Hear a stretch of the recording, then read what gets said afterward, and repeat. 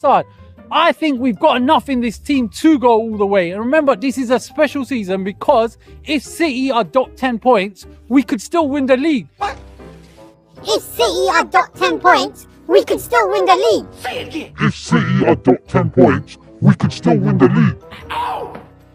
If City are dot 10 points, we could still win the league.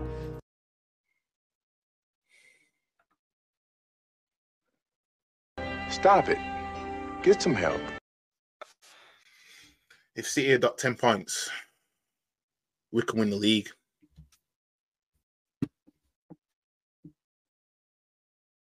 One hundred and fifteen charges. According to this guy, is going to get solved before the season's out. this guy honestly thinks, right, that City will get uh, will possibly get deducted ten points this season after the 115 charges. Are You serious? So he's admitting that we ain't good enough anyway. He's basically confirming everything we're saying. Why does it take City to be deducted 10 points? I thought Arteta, uh, King Arteta's got it right. You know what I mean? The bench is, was fixed according to these man a couple months ago. Arteta's working on something. He's Arteta's got a plan. Arteta knows what he's doing. Now we're talking about oh shit, getting up to 10 points, we can win league. And the thing is, he's completely bypassed the team that's actually top of the table right now. Because would Liverpool bottle a league title to Arsenal? You know what I mean? That's where I think Liverpool would actually go ahead and win the title outside of COVID. You know what I mean? I I think like, if it's us in Liverpool, I think I think I'd, I'd say yeah, I think Liverpool got this this time. You know what I mean? He's completely bypassed Liverpool. If City had deducted ten, obviously City are the team to beat, right?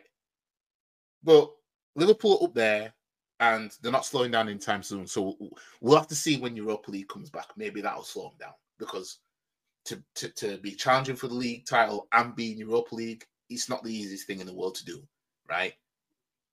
You'll end up probably throwing one away. And Arteta did that last season. Klopp, maybe not, but you know.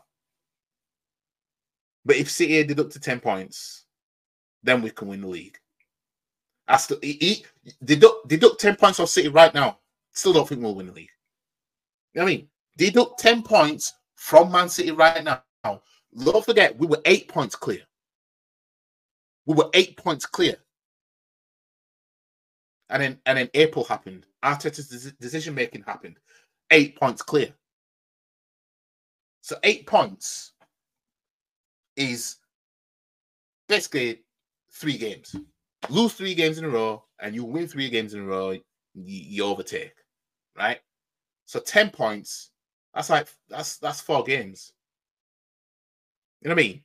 That's four games. We lost two on the bounce against uh, West Ham and, and Fulham in the league.